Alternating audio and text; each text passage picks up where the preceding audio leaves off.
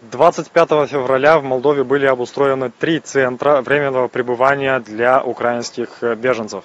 Первый из них был создан в Паланка, другой э, в городе Утач, а третий в столице, в Кишиневе, на фоне которого мы сейчас и находимся. В этих центрах людей ожидает э, спальные места, теплая еда, а также здесь они могут обратиться за медицинской помощью и, если надо, им будет оказана психологическая поддержка.